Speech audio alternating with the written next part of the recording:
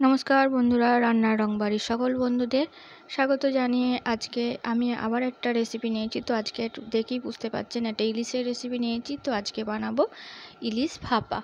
তো ইলিশ ভাপা বানানোর জন্য আমি এখানে নিয়ে নিয়েছি ইলিশ মাছ। তো এখানে আমি চার পিস মাছের ইলিশ মানে এটা ভাপাটা করব। তো এই মাছটা খুবই ছোট্ট ছিল, তাই অল্প মশলা দিয়েছি দেখুন। এখানে পোস্ত, সর্ষে, রসুন, কাঁচা লঙ্কা, নুন দিয়ে আমি একটা পেস্ট বানিয়ে নেব। তো পেস্টটা খুবই মিহি পেস্ট করে নেবেন। আর এদিকে নুন, হলুদ মাখিয়ে নিচ্ছি। তো এই রেসিপিটা আমার ছেলের খুব ভালো লাগে। তো এই রেসিপিটা আমি আমার ছেলের জন্য স্পেশালি বানাচ্ছি।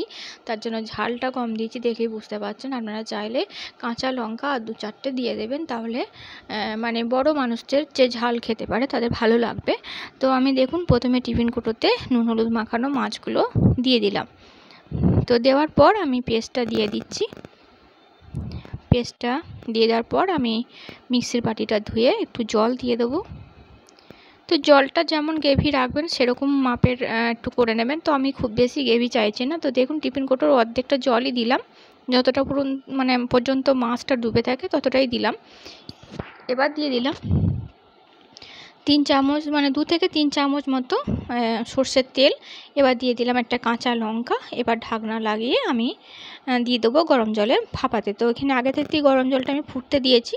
তো জলের পরিমাণটা দেখি বুঝতে পারছেন, খুব বেশি নয়, কিন্তু টিফিন কোটোর নিচে একদম জলটা থাকবে।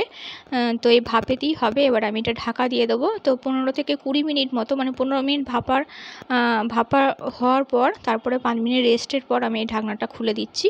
তো এখনও পর্যন্ত গরম আছে, টিফিন কোটোটা খুলে নিয়ে আপনাদের সঙ্গে দেখাবো। তো দেখুন, আমার এই যে ইলিশ ভাপা রেডি হয়ে গেছে। তো আমার তো দেখে খুবই ভালো লাগছে। তো গরম ভাতের সঙ্গে এরকম একটা পাতলা রেসিপি মানে হালকা পাতলা রেসিপি খুবই ভালো লাগবে। তো আমি একটু দেখাচ্ছি মাছটা তুলে। তো দেখুন, ভালো সেদ্ধও হয়ে গেছে আর খুব সুন্দর একটা সেন্ট বেরিয়েছে। যেহেতু রসুনটা আমি এখানে দিয়েছি অ্যাড করেছি। তো এই বর্ষার সময় এরকম ধরনের মানে রেসিপি তো ভালোই লাগে সবারই। তো আপনাদের কেমন লাগল অবশ্যই জানাবেন। আর আমার এই রেসিপিটা যদি ভালো লাগে, অবশ্যই লাইক করবেন। আর আমার সঙ্গে থাকবেন।